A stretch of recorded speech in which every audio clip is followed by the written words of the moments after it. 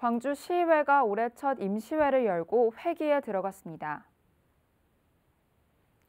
광주광역시의회는 지난 30일 2023년 새해 첫 임시회 개회식을 시의회 본회의장에서 열고 오는 2월 6일까지 8일간의 회기에 들어갑니다. 이번 임시회에서는 광주시와 시교육청의 올해 주요 업무 계획 보고와 청취, 조례안 45건을 비롯한 57건의 안건을 처리할 계획입니다.